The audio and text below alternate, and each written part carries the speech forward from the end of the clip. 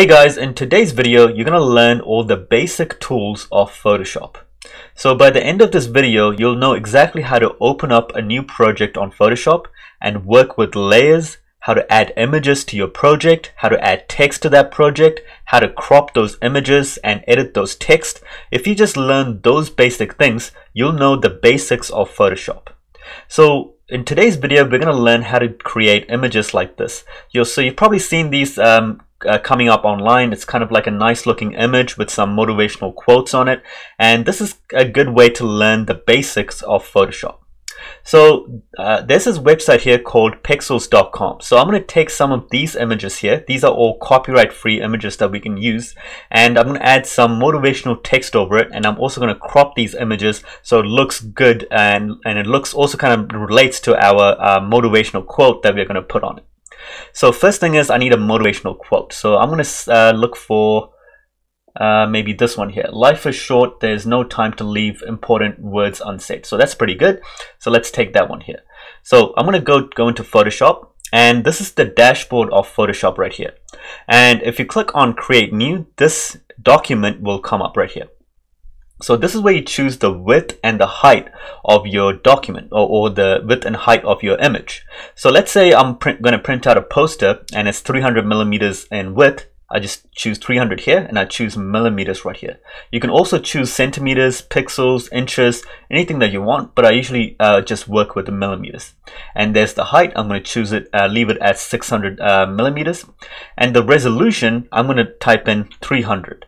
So if if you're actually planning to print out what you're creating on Photoshop, then the resolution has to be 300 and pixels per inch. So that's the resolution most printers look for. Actually, all printers look for. But let's let's say you're just planning to post this online to like a uh, uh, to Instagram or to Facebook or something like that. Then you just need to leave it at 72. Uh, but in this case, I'm actually going to leave it at 300.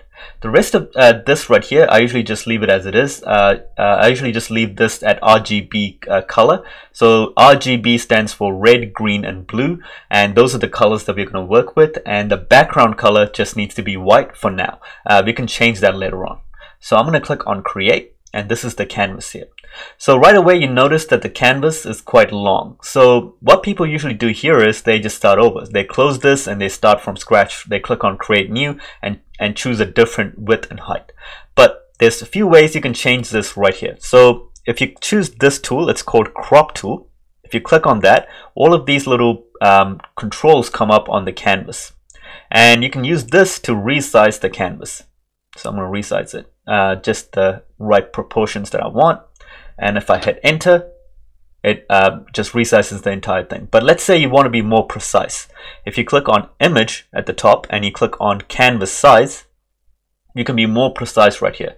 So you can choose uh, millimeters here and I can say the width is 400 and I can say the height is uh, 550 and click on OK and click on proceed. It's going to say it's going to resize this canvas. I'm just going to click on proceed and that, and, and that makes it more precise. So now we have uh, an image or a uh, canvas uh, uh, ready to work with. So first thing is let's just add the text that we want. So the text was uh, life is short, there's no time to leave important words unsaid. So let's just type that in. So I'm going to go into Photoshop here and I'm going to choose this T icon. So this is the text icon. So let's choose that and I'm going to just uh, just click and it's going to type in a little bit of text but you can't see the text right now because it's uh, white colored. So if I just highlight all of this and I'm going to choose the color icon at the top and I'm just going to choose black. There we go. And right now it's got a random um, kind of like a written font and uh, but before I actually change the font I'm going to change the the alignment. So right now it's, it's aligned to the uh, left. So if I start typing it starts typing from this side. But I actually wanted, uh, wanted to start typing from the center. So I'm going to choose that. So every time I type now, it's going to type from the center. So I'm going to move this to the center, right in the center right here. And now I'm going to change the font. So let's highlight this. So there's a few uh, fonts you can choose from. So I'm going to choose uh, one of my favorite fonts is Roboto right here. Uh, and let's start typing in uh, our text right here. So it said Life is short, there is no time. So let's type that in. life is short there is no time and what was the rest no, no time to leave important words unsaid no time to leave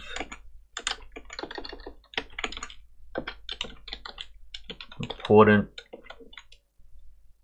words. So it's kind of uh, gone off a little bit there but doesn't matter. We can just move it to the top. Important words. And I'm just going to type in unset. so uh, so it's gone off the canvas a little bit. So now if you just click away it just types everything in. And it's gone off the canvas. So what we can do is click on this little move icon on the top. And I'm just going to drag and drop this to the top. There we go. So life is short. There is no time there's no time to leave important words unsaid. Cool.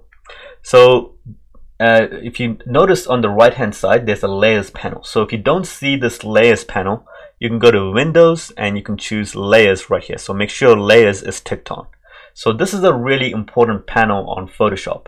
And this is how you work with different layers. So the first layer is the background layer. That's the white background layer. The second layer is the text layer. So that's the text that we typed on top of that background layer. So uh, let's say I, I, add an image, we can uh, we can put it on top of this image, or uh, top of this text, or we can put the text on top of the image. And the way we do that is through layers, and you'll learn uh, how to do that uh, soon in this video. So first, let's just edit this text and make it a bit smaller. So there's a few ways to make this text a bit smaller. So you can go make sure the text layer is chosen right here, and you can go edit, free transform. So that gives you a few control controls right here. So if you hold shift and if you make it a bit smaller, it gets smaller. But if you don't hold shift, it gets a bit disproportionate like this. So you don't want that to happen. So you want to you want to keep the size all proportionate. So I'm going to hold shift and I'm going to move this back to the center and I'm going to hit enter. Uh, next thing, I'm going to make all of this a bit more bold. So right here under the fonts, just next to it, you can make this uh, bold. So I'm going to choose this one. So that looks a bit better. So yeah it looks quite similar to this now. So we can make it a little bit smaller I think. So it actually fits in a bit better. There we go. And now what I want to do is add some nice looking images in the background. So there's a few ways of doing this. Uh, uh, let's just look for some inspiration from some of these images here. So I just typed in motivational quote or inspirational quote on Photoshop. And let's just go into, yeah, pexels.com and let's find a nice looking image. This one's pretty good, I think. So I'm going to click on this and I'm just to click on copy image. And let's go back to Photoshop and I'm going to paste that in. So go edit, paste, or you can even go control V. So uh, just delete that and you can go control V or command V if you're on a Mac and they'll just paste in that image. So again, I'm going to uh, go to, uh, there's uh, two different layers now. So I'm going to choose the image layer. So I might even rename this layer to the image layer. So I can rem remember what that layer is. So it just automatically names it layer 1 and then if you add another layer it'll just name it layer 2 but usually I like to name all of my layers so I can keep everything organized. So I'm going to choose the image layer and I'm going to choose edit free transform. And I'm going to make the image a bit bigger and again I'm holding shift to keep this image uh, more proportionate. So I'm just going to make this I'm just going to make it take up the entire canvas. And I'm going to hit enter and there we go. We have a nice looking image here. So we just made that image quite big and uh, when you make the image a bit too big then it, it, can get a little pixelated. So what we can do to check if it's too pixelated is by choosing this little zoom icon here and if you click on 100% at the top so make sure you choose the zoom icon and then at the top 100% and that'll zoom every, uh, zoom in quite far. And this is what the image will look like when you print it out. So it shows you the quality of the image when uh, uh, when you print it out. So if you if you're happy with that then you can leave it as it is. If you're not then you might have to make the image a bit smaller. So I'm happy with this. So I'm just going to zoom out. There we go. So now we can't actually see the text that we typed in. So what I'm going to do is move, go to the layers panel here and move the text um, layer to the top of the image layer. So now we have a nice looking image uh, with some text on top of it. So we can experiment with this and check what kind of color actually stands out on this image. So we can make this white if you wanted to. So let's just highlight all of this and go to the colors icon and let's just try white. So it's easier to read here, but it's not easy to read up there. So what we can do is maybe actually make the background layer a bit darker. And the way that we do that, there's a few ways to do this. So you can add in a new layer and in this new layer, I'm just going to type in black. And I'm just going to take the paint bucket tool. So this is the paint bucket tool. And I'm going to choose the black color. So right here, just click here and choose black and click on OK. And now I'm just going to paint in black in that entire layer right here. Uh, next, uh, I'm going to choose that black layer and I'm going to choose the opacity to be at 50%. Uh, uh, right here, 50%. So you can even just type in 50. There we go. So we have a black color that's lowered the opacity to 50%. And now it makes it a lot easier to read that text and we can still see the image in the background quite clearly as well. So that's one option. So let me just delete that black layer and there's another option and you can uh, choose uh, which one works best for you. This one is called the selective color option. This one's a little bit more advanced. So if you click on this little circle icon here at the top and you click on selective color right here, that brings up this layer right here. This is called the selective color um, layer. And basically anything below this layer, it changes the color. So uh, when you click on this layer, it comes up with this properties panel at the top. So you notice that there. So if I click on this, this properties panels comes up and you can choose different colors. So you can choose all the red colors from this image. You can choose all the blue colors from this image. Um, so most of the colors from this image is kind of slightly blue and purple. So I'm going to choose the blue colors and you can change that. So you can change it. You can just kind of play around with this, these tools right here. And you can see it's kind of changing the colors to like purple, maybe a slightly darker, and the whole point is I'm trying to make this text a bit more easier to read. And maybe I can choose the whites at the top to be a little bit darker. So let's choose that and maybe just make it slightly darker. There we go. So now it's becoming a bit more clearer. And maybe I'll choose the yellow colors this time. So that's not really changing much. Um, let's try the neutral. So the neutral part is just everything, just chooses all the colors and it just slightly changes everything. So that's a bit more intense, but you can experiment with what works best for your image. So I'm gonna make this slightly darker here. So yeah, that looks pretty good. So I think I actually like that image here. It's kind of yellow. You can still kind of read the text as well. So there's one more thing you can do to make this even more um, readable and just because uh, it's still kind of hard to read at the top here. So what you can do is add a shadow. So I'm going to choose the text color here and I'm going to go to layer and I'm going to choose layer style. And when you click on layer style, there's this option here called drop shadow. So let's click on that. And you can see immediately just put in a shadow below that text. So let me just uh, click on OK. And right here, there's a few options under the layers, um, under the layer, uh, text layer right here. So if I click off this little eye icon, you can see the difference. When I click it on, it just adds in the shadow. So the shadow makes it slightly easier to read.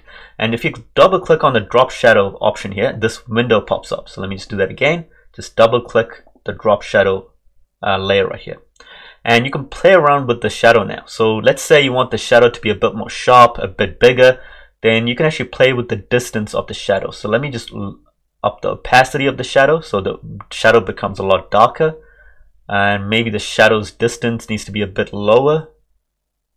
Let me just play around with all of this and the spread.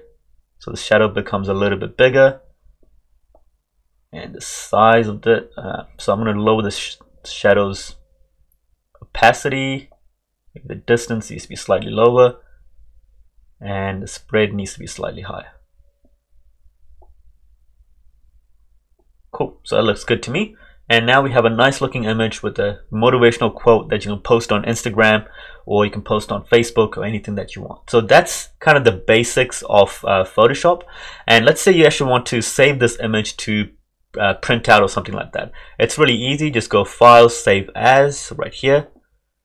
And you can save it right here and you can save it as a Photoshop file right here or you can save it as a JPEG. But if you want to print this image, you can I usually just save it as a PDF. So right here, Photoshop PDF. Um, and, and I just you, can just rename it to whatever it is that you want and you save it right here. So that's the basics of Photoshop. If you guys have any questions, you can comment down below. Make sure you guys like and subscribe and let me know uh, what the next video you guys want me to make is. Uh, it could be anything, not just Photoshop. It could be Illustrator, it could be Adobe InDesign, or could be um, After Effects, anything that you guys want. I'll try to make a video on that. So comment down below with any questions you guys have and I'll see you in the next video.